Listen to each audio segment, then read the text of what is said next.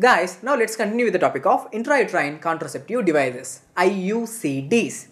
Guys, these intrauterine contraceptive devices are classified into three generations. Okay, so first generation, second generation, and third generation. So, what are the differences between them? Guys, please concentrate. First generation IUCDs are non-medicated or inert substances. They do not contain any drug. They do not contain any metal. Okay, example is Lippes loop. Okay, so here whatever you are saying is the Lippes loop, and they can ask you as a image-based question. Now, second generation IUCDs contain copper. Okay, so this second generation IUCDs contain copper in them. Okay, so example is copper T380A. Now, third generation intrauterine uh, contraceptive devices contains hormone within themselves. Okay, so in the exam, if they ask you hormonal IUDs are third generation IUDs and they contain hormones, especially progesterone. Example is Progestasert and Mirena. Okay, and one important point I want you to remember that Mirena is a levonorgestrel containing IUD. Okay, they will ask you levonorgestrel containing IUD is Mirena. Okay, don't worry, again we will discuss.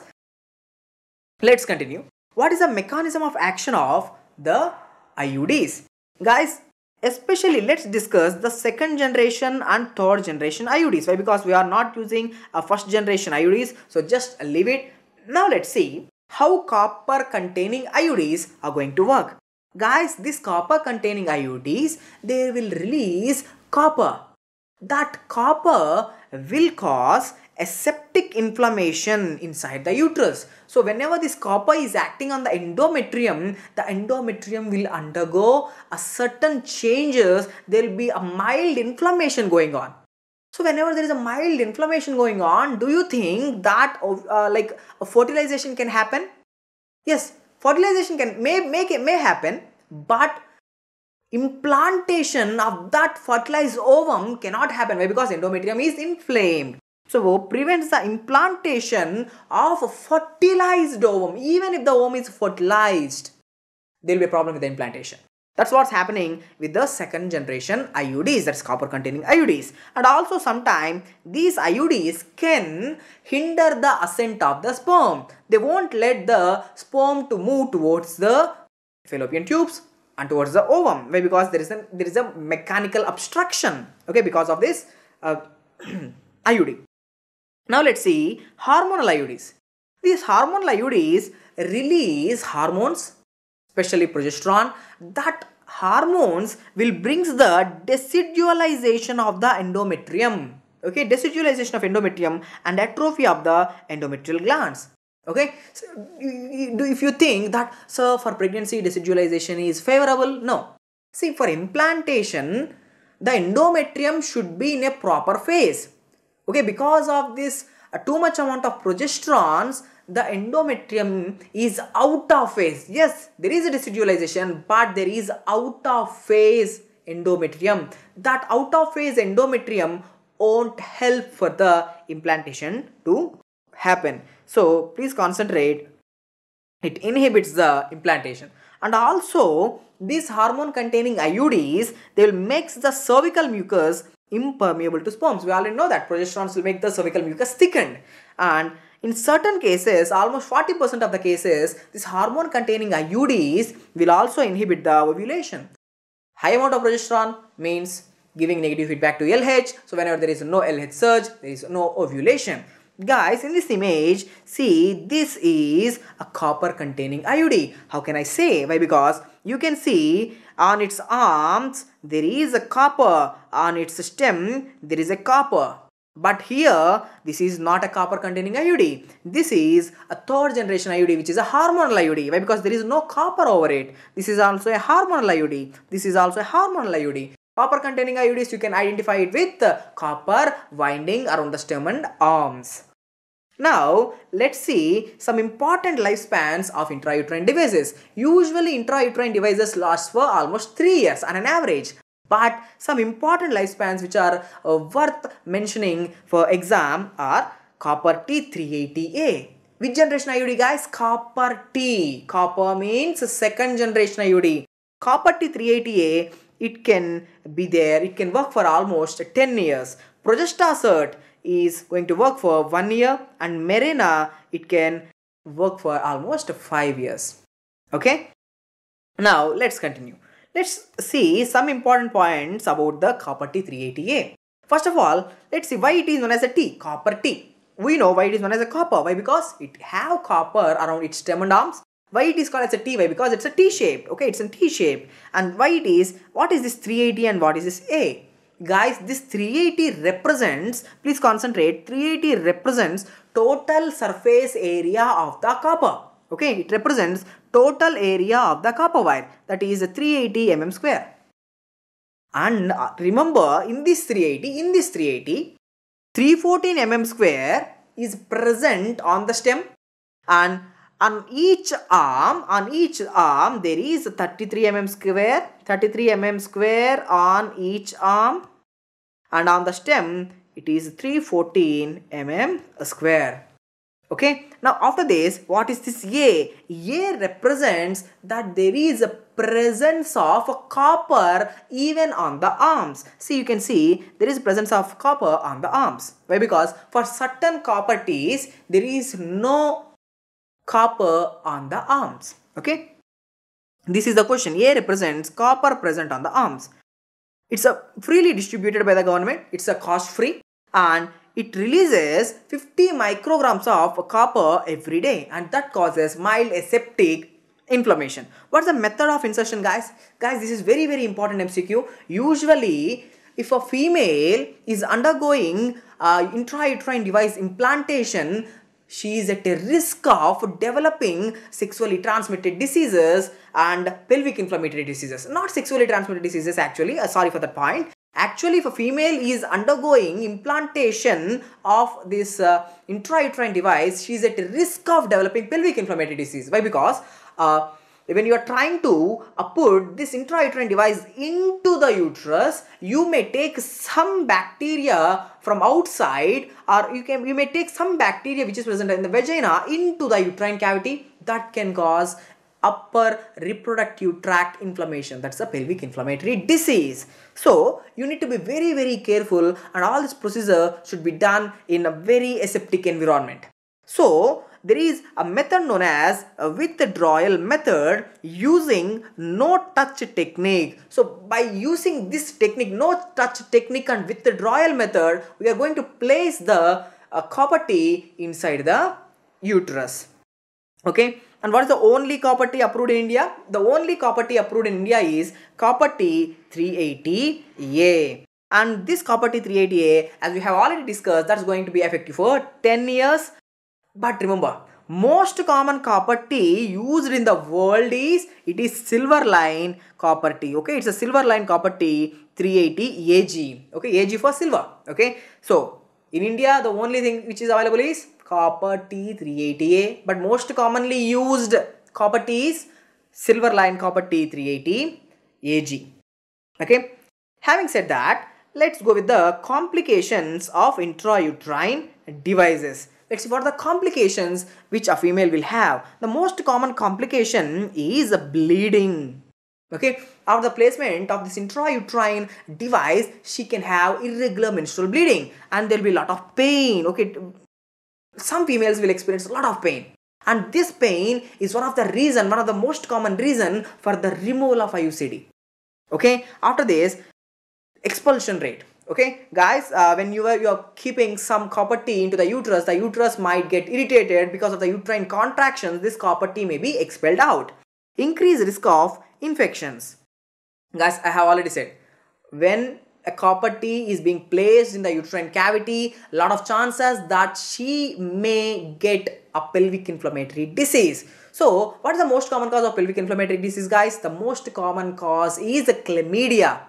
So, we have to give the drugs which can inhibit the growth of chlamydia. What are they? It's the drug of choice for chlamydia is azithromycin, doxycycline. Both are the drug of choice for chlamydia. So before inserting this intrauterine contraceptive device, the patient was given with uh, doxycycline as well as azithromycin one hour before the insertion to prevent the um, pelvic inflammatory disease.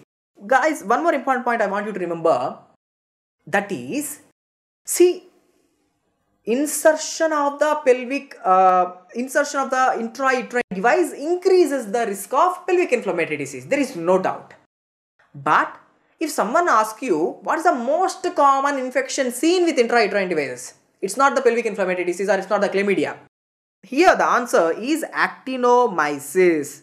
Okay? Actinomyces infections are most common uh, infections associated with the copper T use now, when uh, we are inserting this copper T, there is a chance that this copper T may perforate the uterine wall. So, perforation can be seen. So, that can be a complication of intrauterine device. And ectopic pregnancy, this is my favorite. Okay, this is my favorite. Very, very important. Guys, usually just think, putting an intrauterine device usually prevent the pregnancy. So, how can ectopic pregnancy happen? Usually if a female is on intrauterine contraceptive device, usually pregnant pregnancy sh shouldn't happen. So how can ectopic pregnancy happen in this case?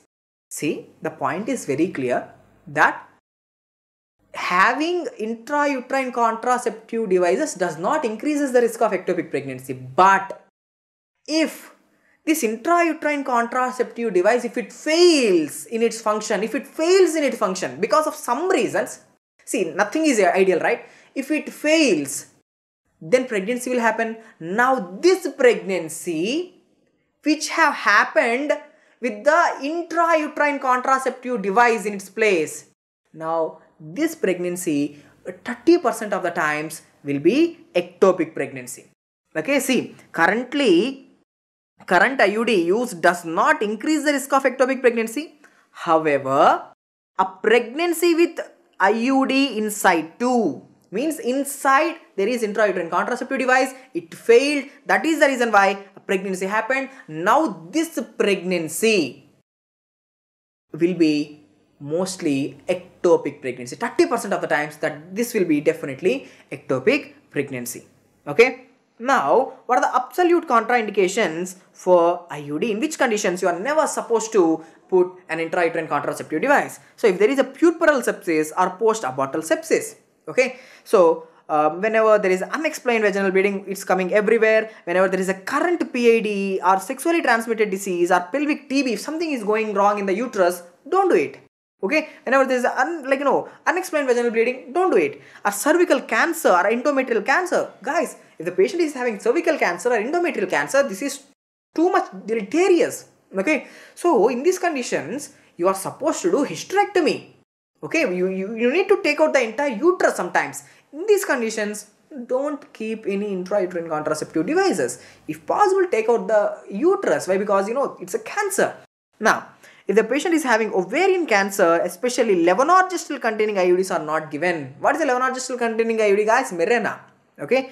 Now, in the conditions of uh, gestational trophoblastic neoplasias, uterine distortion or uterine anomalies, there is a uterine anomaly in those conditions don't give this intrauterine contraceptive device because that can uh, that can perforate the uterus or it can easily dislodge from that position okay now if the person is having copper allergy or wilson's disease especially in these conditions you are not supposed to put a copper containing IUD because the person is allergic to copper. And even what is a Wilson disease guys? Wilson disease is nothing but too much accumulation of copper in the body.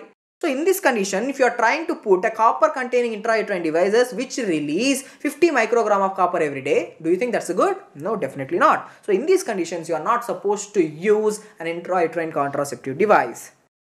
Now after this, let's see some important points about Mirena. Okay, Mirena is which generation uh, contraceptive, uh, which generation IUD guys? It's a third generation intrauterine contraceptive device which contains a levonorgestrel. This is important. Okay, it contains 52 microgram of levonorgestrel and it releases a 20 microgram. Okay, it releases 20 mcg, not milligram. It releases 20 microgram every day. What's the lifespan, guys? We have already seen it's a 5 years. What about the copper T380A? 10 years. What about Progestasert? One year. Guys, please just note, most common reason for removal of an IUD is, see what is the most common symptom? The most common symptom is a bleeding. But the what is the most common reason for the IUD removal? It's the pain. Okay, important. Now, a contraception of choice. If a female is already HIV positive and she wants a contraception. So in HIV positive females, the contraception of choice is intrauterine contraceptive devices along with the barriers. Okay, so this is the contraception of choice. Okay, why because why barriers are used? Why because to prevent the sexually transmitted disease. Yes, like in this case, it's a HIV. So to prevent the transfer of HIV, barrier methods are used, and to prevent the pregnancy from happening, intrauterine contraceptive devices are used. So both a, combination of intrauterine contraceptive devices as well as barriers is the contraceptive of choice for HIV positive female. Now, let's see what if pregnancy happened with an intact intrauterine contraceptive device. With an intact intrauterine contraceptive device, what if pregnancy happened? Okay, see, this is a real photo where the baby was born with a contraceptive device in his hand. Okay, means a contraceptive device is already there in the uterus, but pregnancy happened. So, what to do? Guys, please concentrate. If pregnancy occurs with an intact intrauterine contraceptive device, 30% of the cases are ectopic. I have already said. Okay, a failed intraceptive, uh, intrauterine contraceptive device may cause pregnancy which is almost uh, ectopic. Now, what to do? Management. See, you can continue the pregnancy. Okay, if a female is uh, willing to continue her pregnancy, okay, let her continue. Or you can go with the abortion. About abortion, nothing to discuss. Like you know why? Because you can give uh, some uh, drugs that can cause abortion. What if pregnancy is continuing? A female is willing to continue her pregnancy with an intact intrauterine contraceptive device. What should we do? See, if there is a possibility to remove the device, remove it.